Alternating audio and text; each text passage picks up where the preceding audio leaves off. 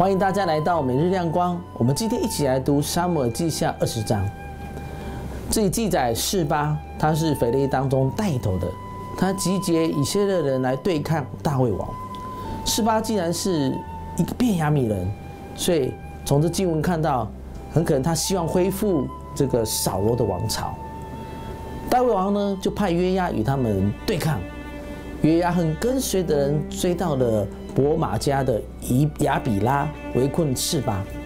那有一位很聪明的女子出来与约押他们来谈和，她表示他们的市民是爱好和平、忠厚的，她就承诺说要交出示巴来解除啊城市可能被毁、人民被杀的危机。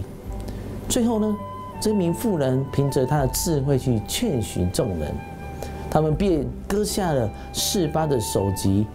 丢给了约押。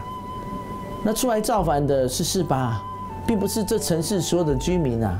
这位妇人很有智慧的化解一个城市，免于被毁灭，伤及无辜。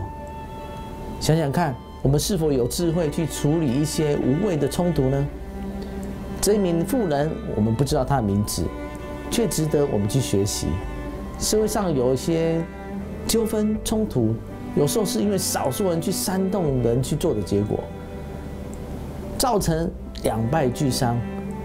那其实我们若冷静下来，仔细去想问题的原因，适当的去提醒一些人，不要随着恶人起舞，要选择站在公益的那边。很多无所谓的冲突，其实都是可以避免的。台湾人常常有人挑起某些议题，不是站在公益和真理上面。造成不必要的冲突，那我们教会基督徒应该出面来劝导，以免有些人被欺骗、挑起这样无谓对立。那教会内其实也是如此啊。愿我们都成为一个和平的使者，站在我们的岗位上。